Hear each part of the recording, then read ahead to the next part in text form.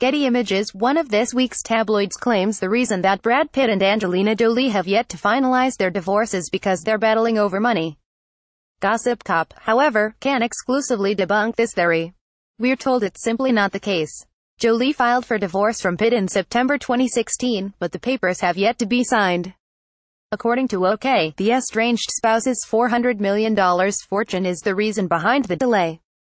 A so-called source tells the magazine they're both playing hardball. Angie wants a huge cash payout plus stakes in their properties and their assets divided up equally.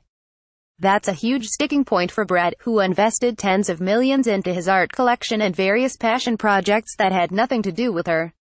The outlet's alleged insider adds, there are a lot of emotions involved and it's difficult for them to truly move on until this divorce is finalized. Angie keeps hoping Brad will roll over, but after everything that's happened, he's standing his ground. The seemingly phony source concludes, it's hard to believe one of them isn't exhausted yet.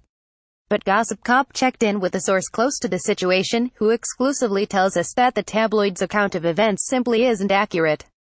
We're told there are several different factors involved in the ex-couple's divorce filing, but money isn't the main issue that needs to be worked out. In fact, Pitt and Jolie reportedly signed an ironclad prenuptial agreement prior to getting married, so the division of their assets is mostly settled. The custody of their six kids, on the other hand, is a more complicated scenario.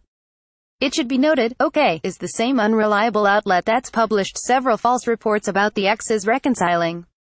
Gossip Cop busted the publication last year for wrongly reporting that Pitt and Jolie were spending Christmas together, which obviously didn't happen. Before that piece of fiction, we called out the tabloid for falsely claiming that Pitt had moved back in with Jolie and the kids. This latest article surrounding their divorce settlement is similarly bogus.